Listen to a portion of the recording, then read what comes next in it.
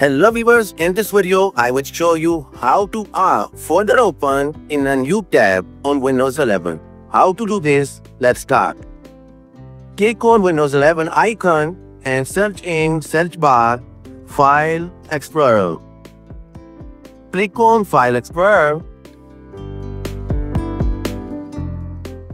Now click on three dots and go to Options. On this window, you will find folder setting.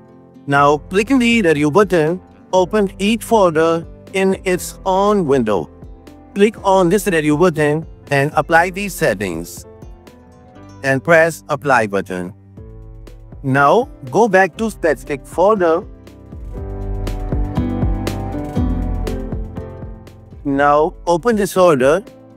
You can see here, this folder is open in a new tab the simple step that you can follow to open a folder in a new tab. Hope so this video will be helpful for you. See you another video. Goodbye.